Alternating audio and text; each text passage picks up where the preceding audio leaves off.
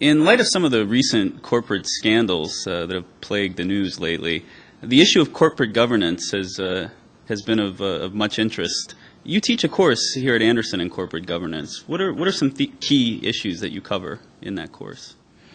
Well, first of all, I think it's important to distinguish between governance and management. Management involves the activities of directing a part of a business. Governance means setting the conditions within which others can manage effectively. Governance also refers to the oversight of the entire firm on behalf of the owners of the firm, that is, the shareholders.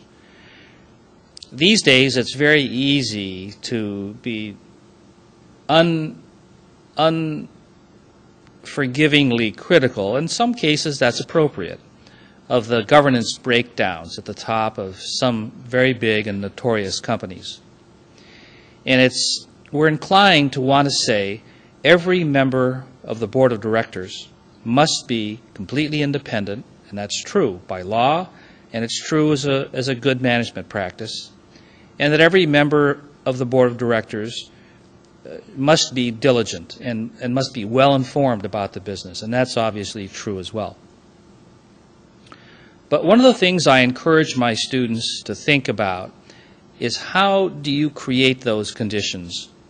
If you're in New York or Los Angeles, it's not too difficult to put together a board of directors of a 10 or 11 people who don't know each other, whose companies don't do business with the company on whose board they serve, and who can be fully independent.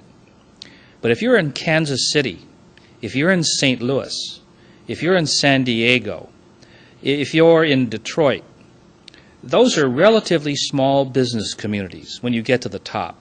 And the people at the senior levels know each other. Chances are they do business together, or they have, or they will in the future.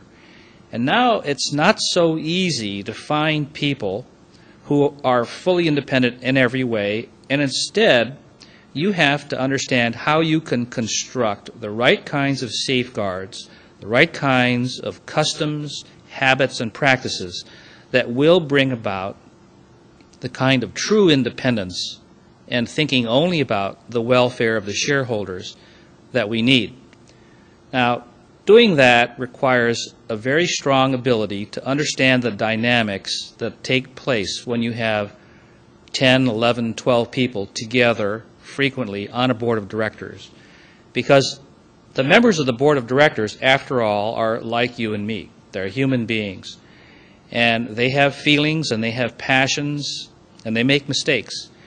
And above all else, having an effective board of directors means having an effective group of people who work together, each of them necessarily independent of the others, and yet at the same time, all of them working together as a team.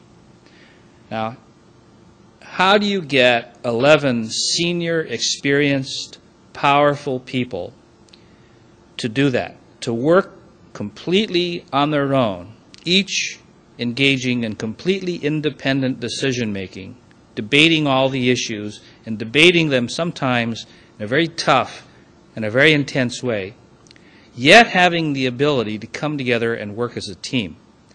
That's a very difficult thing to do. And as a result, there are many boards of directors that get into trouble because either people lose their ability to be independent of one another and of the management, or because they lose their ability to work together as a team. Both of those are very, very serious shortcomings that can develop. The other thing that's important about a board is even though you may not serve on a board of directors for several years, the work that you do inside the company that you're employed by is going to be heavily affected by the decisions made by the board.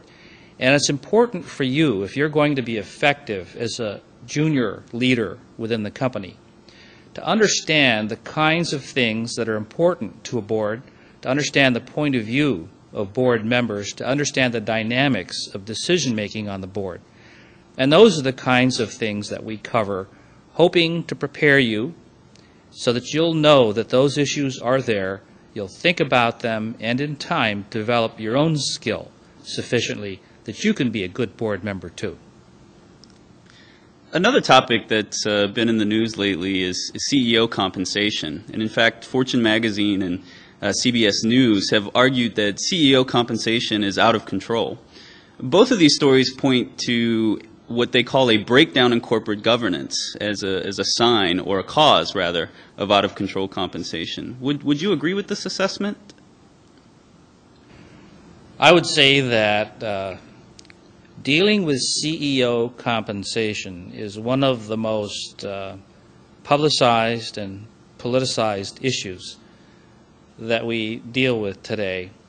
And here I think a school of management like ours has a very important role to play. And that is that we need to be an independent voice.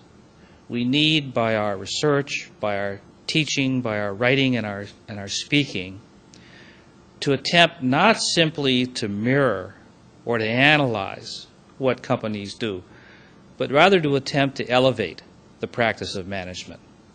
And I think that there are many, many cases in which senior executives are not subjected to adequate scrutiny by boards of directors, and at which compensation has clearly gotten out of control.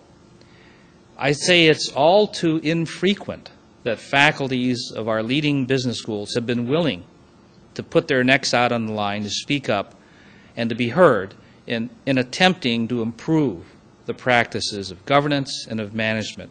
And that's what we ought to do.